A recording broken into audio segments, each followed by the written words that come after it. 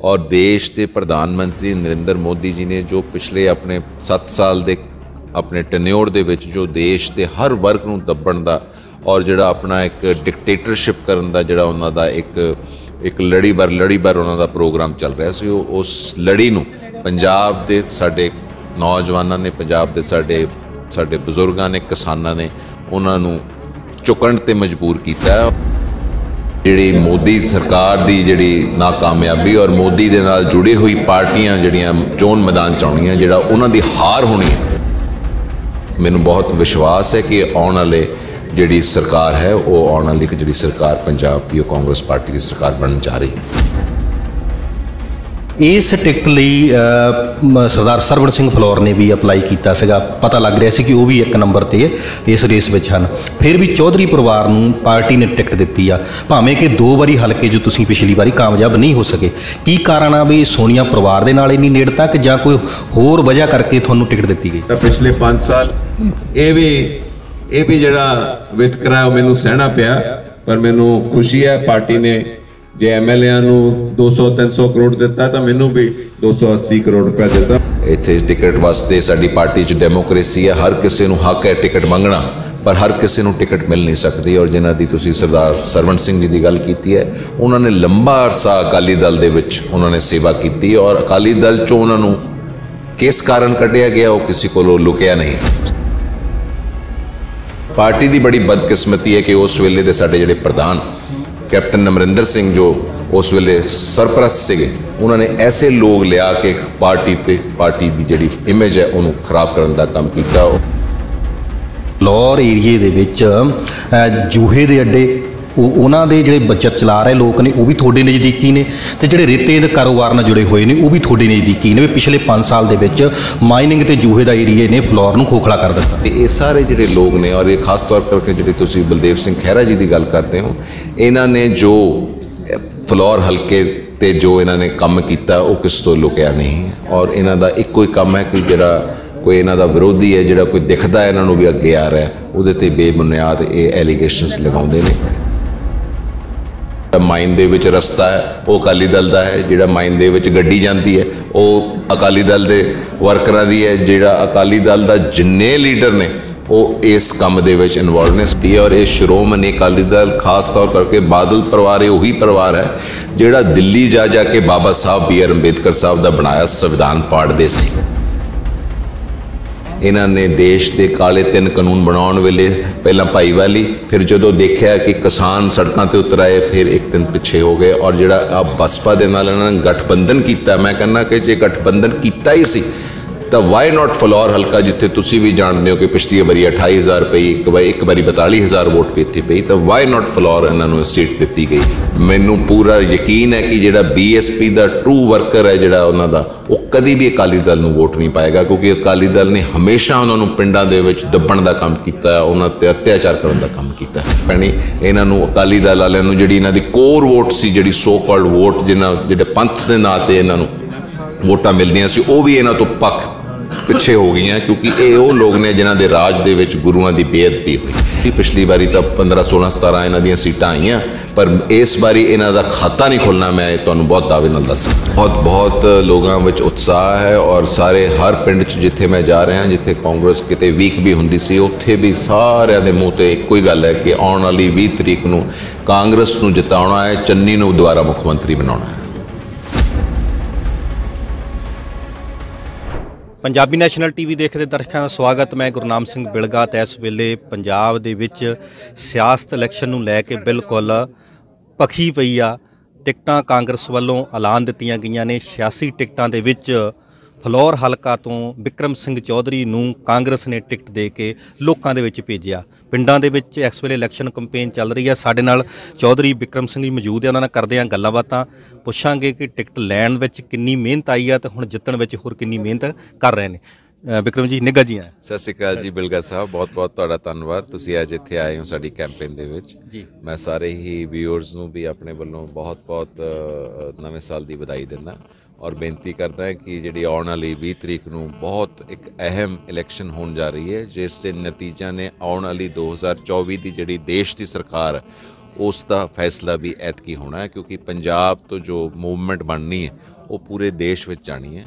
ਔਰ ਦੇਸ਼ ਦੇ ਪ੍ਰਧਾਨ ਮੰਤਰੀ ਨਰਿੰਦਰ ਮੋਦੀ ਜੀ ਨੇ ਜੋ ਪਿਛਲੇ ਆਪਣੇ 7 ਸਾਲ ਦੇ ਆਪਣੇ ਟੈਨਿਓਰ ਦੇ ਵਿੱਚ ਜੋ ਦੇਸ਼ ਦੇ ਹਰ ਵਰਗ ਨੂੰ ਦੱਬਣ ਦਾ ਔਰ ਜਿਹੜਾ ਆਪਣਾ ਇੱਕ ਡਿਕਟੇਟਰਸ਼ਿਪ ਕਰਨ ਦਾ ਜਿਹੜਾ ਉਹਨਾਂ ਦਾ ਇੱਕ ਇੱਕ ਲੜੀਵਾਰ ਲੜੀਵਾਰ ਉਹਨਾਂ ਦਾ ਪ੍ਰੋਗਰਾਮ ਚੱਲ ਰਿਹਾ ਸੀ। ਉਹ ਉਸ ਲੜੀ ਨੂੰ ਪੰਜਾਬ ਦੇ ਸਾਡੇ ਨੌਜਵਾਨਾਂ ਨੇ, ਪੰਜਾਬ ਦੇ ਸਾਡੇ ਸਾਡੇ ਬਜ਼ੁਰਗਾਂ ਨੇ, ਕਿਸਾਨਾਂ ਨੇ ਉਹਨਾਂ ਨੂੰ ਝੁਕਣ ਤੇ ਮਜਬੂਰ ਕੀਤਾ ਹੈ ਔਰ ਮੈਨੂੰ ਲੱਗਦਾ ਹੈ ਕਿ ਜਿਹੜੇ ਆਉਣ ਵਾਲੀ 20 ਤਰੀਕ ਨੂੰ ਜਿਹੜੀ ਇਲੈਕਸ਼ਨ ਹੈ, ਉਹਦੇ ਵਿੱਚ ਜਿਹੜੀ ਮੋਦੀ ਸਰਕਾਰ ਦੀ ਜਿਹੜੀ ਨਾਕਾਮਯਾਬੀ ਔਰ ਮੋਦੀ ਦੇ ਨਾਲ ਜੁੜੀ ਹੋਈ ਪਾਰਟੀਆਂ ਜਿਹੜੀਆਂ ਚੋਣ ਮੈਦਾਨ ਚ ਆਉਣੀਆਂ ਜਿਹੜਾ ਉਹਨਾਂ ਦੀ ਹਾਰ ਹੋਣੀ ਹੈ ਉਸ ਦੇ ਨਾਲ ਆਉਣ ਵਾਲੀ 24 ਤੇ ਉਹਦਾ ਇੰਪੈਕਟ ਪੈਣਾ ਔਰ ਮੈਨੂੰ ਬੜਾ ਮੈਨੂੰ ਬਹੁਤ ਵਿਸ਼ਵਾਸ ਹੈ ਕਿ ਆਉਣ ਵਾਲੇ ਜਿਹੜੀ ਸਰਕਾਰ ਹੈ, ਉਹ ਆਉਣ ਵਾਲੀ ਇੱਕ ਜਿਹੜੀ ਸਰਕਾਰ ਪੰਜਾਬ ਦੀ, ਉਹ ਕਾਂਗਰਸ ਪਾਰਟੀ ਦੀ ਸਰਕਾਰ ਬਣਨ ਜਾ ਰਹੀ ਹੈ। ਜੀ ਬਿਕਰਮ ਜੀ, ਜਿਵੇਂ ਆਪਾਂ ਦੇਖਦੇ ਹਾਂ ਕਿ ਫਲੋਰ ਹਲਕਾ ਜਿਵੇਂ ਲੁਧਿਆਣੇ ਵੱਲੋਂ ਲੱਗਦੇ ਤਾਂ ਗੇਟਵੇ ਆਫ ਦੁਆਬਾ, ਵੱਡੇ ਸ਼ਹਿਰ ਫਲੋਰ ਨੇ ਗੁਰਾਇਆ ਨੇ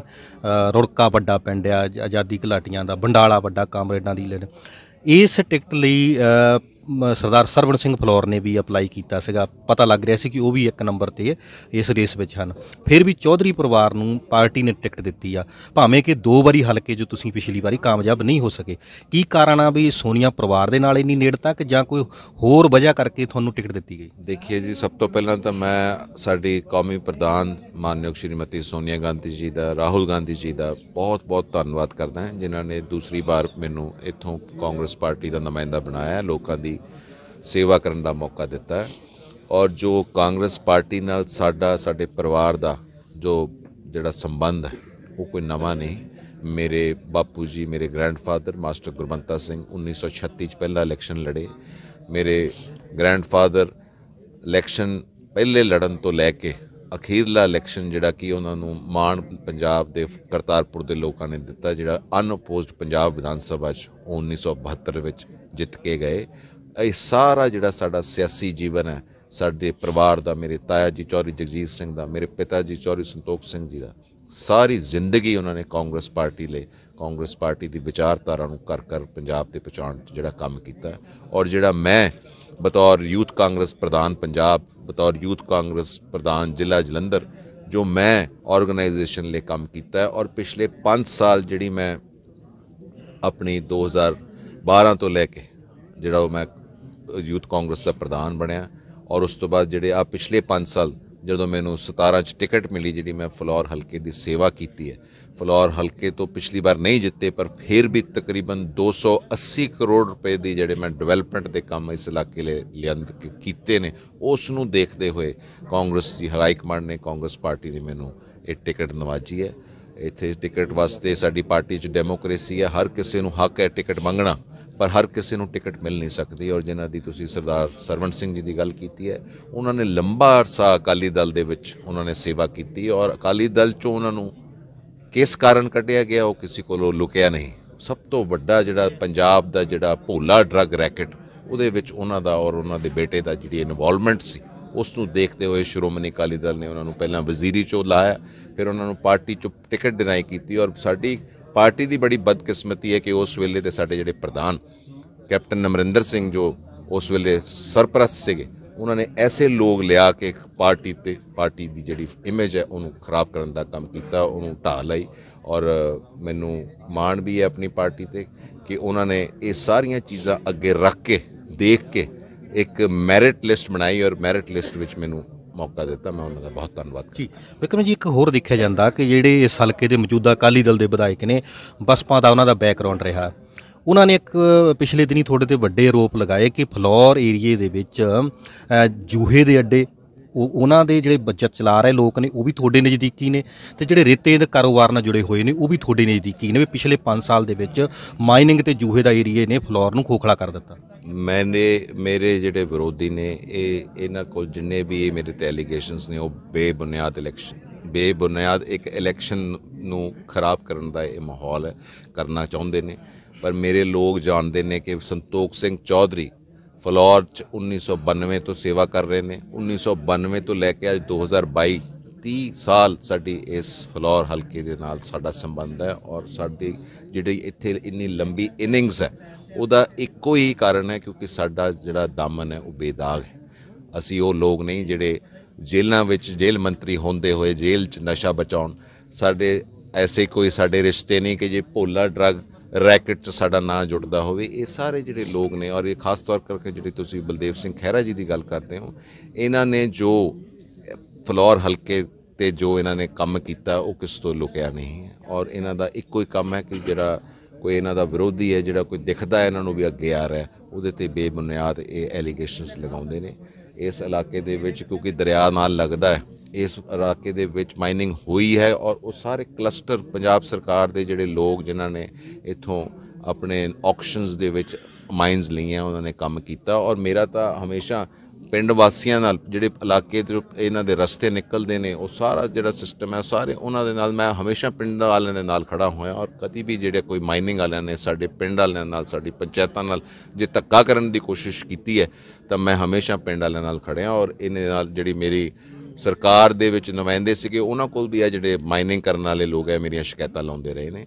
ਔਰ ਮੈਂ ਇੱਕ ਵਾਰੀ ਫੇਰ ਦੱਸਦਾ ਕਿ ਤੁਸੀਂ ਫਲੌਰ ਹਲਕੇ 'ਚ ਜਿੱਥੇ ਵੀ ਮਾਈਨ ਚੱਲਦੀ ਹੈ ਉੱਥੇ ਜਾ ਕੇ ਦੇਖ ਲਓ ਜਿਹੜਾ ਮਾਈਨ ਦੇ ਵਿੱਚ ਰਸਤਾ ਹੈ ਉਹ ਅਕਾਲੀ ਦਲ ਦਾ ਹੈ, ਜਿਹੜਾ ਮਾਈਨ ਦੇ ਵਿੱਚ ਗੱਡੀ ਜਾਂਦੀ ਹੈ ਉਹ ਅਕਾਲੀ ਦਲ ਦੇ ਵਰਕਰਾਂ ਦੀ ਹੈ ਜਿਹੜਾ ਅਕਾਲੀ ਦਲ ਦਾ ਜਿੰਨੇ ਲੀਡਰ ਨੇ, ਉਹ ਇਸ ਕੰਮ ਦੇ ਵਿੱਚ ਇਨਵੋਲਵ ਨੇ। ਸਾਡਾ ਕਾਂਗਰਸ ਪਾਰਟੀ ਦਾ ਕੋਈ ਛੋਟਾ, ਕੋਈ ਵੱਡਾ ਲੀਡਰ ਤੁਹਾਨੂੰ ਕਿਤੇ ਨਹੀਂ ਦਿਸੇਗਾ, ਇਸ ਕੰਮ ਦੇ ਨਾਲ ਜੁੜਿਆ ਹੋਇਆ।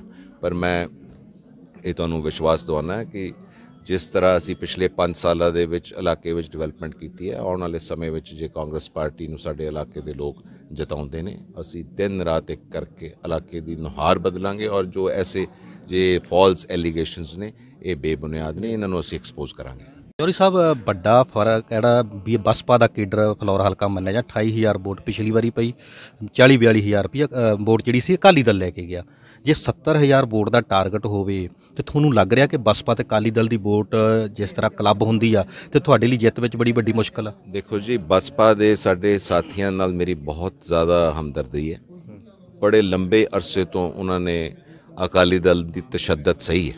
ਅਕਾਲੀ ਦਲ ਦੇ ਲੀਡਰਾਂ ਨੇ, ਬਸਪਾ ਦੇ ਸਾਡੇ ਵਰਕਰ, ਛੋਟੇ, ਵੱਡੇ ਲੀਡਰਾਂ ਤੇ ਸਾਰਿਆਂ ਤੇ ਸਾਰੀ ਉਮਰ ਉਹਨਾਂ ਨੇ ਤਸ਼ੱਦਦ ਕੀਤੀ ਹੈ ਔਰ ਇਹ ਸ਼੍ਰੋਮਣੀ ਅਕਾਲੀ ਦਲ ਖਾਸ ਤੌਰ ਕਰਕੇ ਬਾਦਲ ਪਰਿਵਾਰ, ਇਹ ਉਹੀ ਪਰਿਵਾਰ ਹੈ ਜਿਹੜਾ ਦਿੱਲੀ ਜਾ ਜਾ ਕੇ ਬਾਬਾ ਸਾਹਿਬ ਬੀ ਆਰ ਅੰਬੇਦਕਰ ਸਾਹਿਬ ਦਾ ਬਣਾਇਆ ਸੰਵਿਧਾਨ ਪਾੜਦੇ ਸੀ। ਔਰ ਅੱਜ ਇਹ ਲੋਕ ਆਪਣਾ ਜਿਹੜਾ ਭਾਸ਼ਣ ਹੈ ਉਹ ਜੈ ਭੀਮ ਤੋਂ ਕਰਨਾ ਸ਼ੁਰੂ ਕੀਤਾ ਹੈ ਇਹਨਾਂ ਨੇ। ਇਹ ਲੋਕ ਬਨਾਵਟੀ ਨੇ, ਇਹ ਵੋਟਾਂ ਲਈ ਕੁਝ ਵੀ ਕਰ ਸਕਦੇ ਨੇ।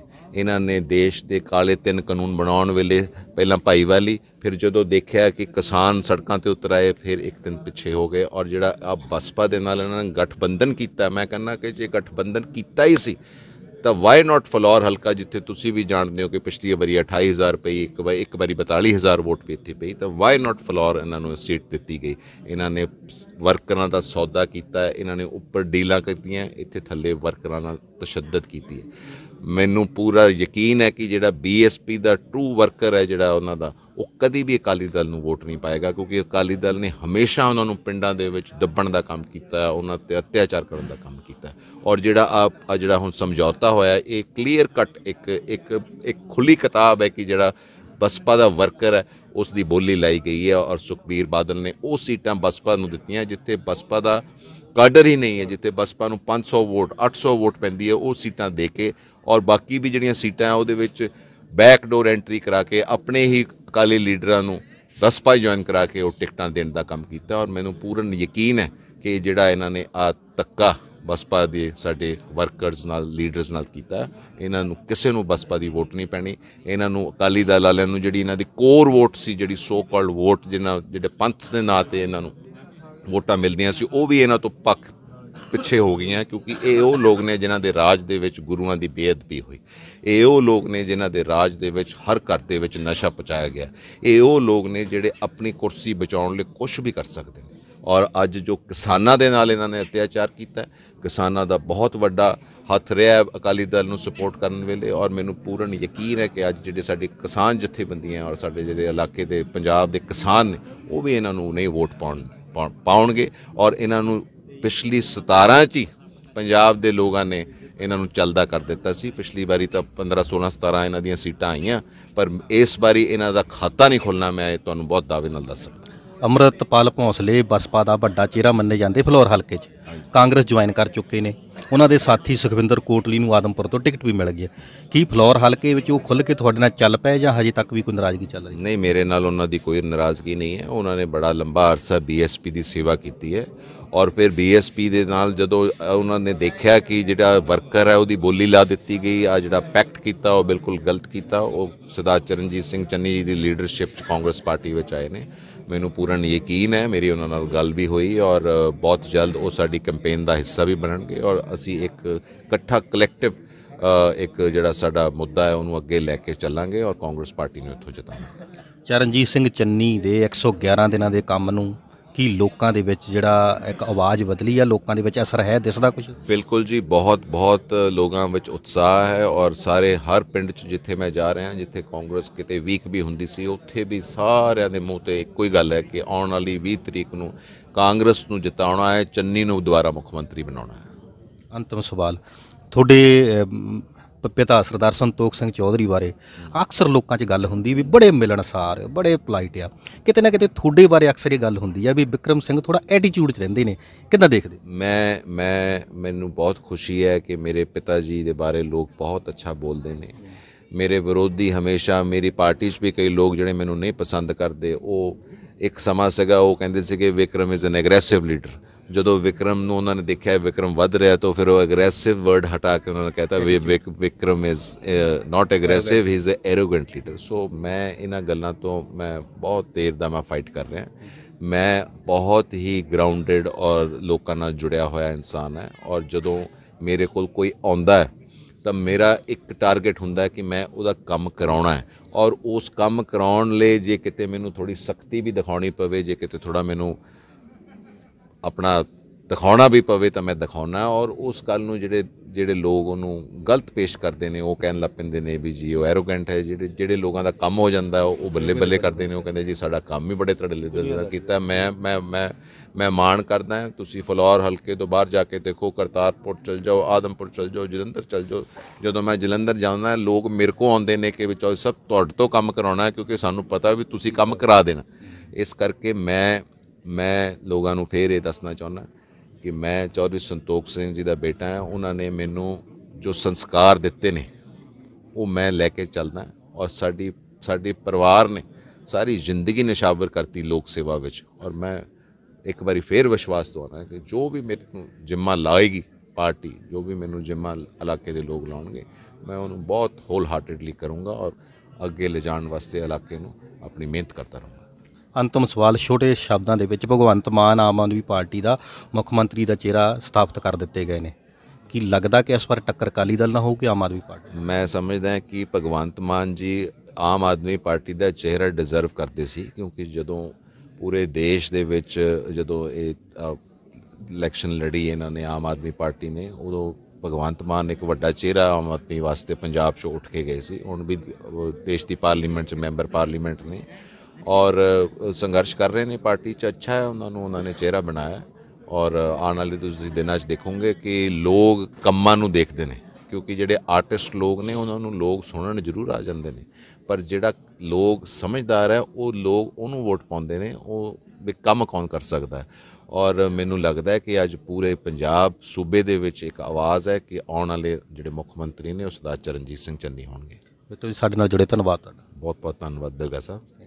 ਸਤਿ ਸ਼੍ਰੀ ਅਕਾਲ ਇਹ ਸਨ ਸਰਦਾਰ ਬਿਕਰਮਜੀਤ ਸਿੰਘ ਚੌਧਰੀ, ਜਿਨ੍ਹਾਂ ਨੇ ਦੱਸਿਆ ਕਿ ਆਉਣ ਵਾਲੇ ਸਮੇਂ ਦੇ ਵਿੱਚ ਮੁੱਖ ਮੰਤਰੀ ਚਰਨਜੀਤ ਸਿੰਘ ਚੰਨੀ ਦੇ ਨਾਂ ਤੇ ਲੋਕ ਵੋਟ ਪਾਉਣ ਲਈ ਬਿਲਕੁਲ ਤਿਆਰ ਬੈਠੇ ਨੇ।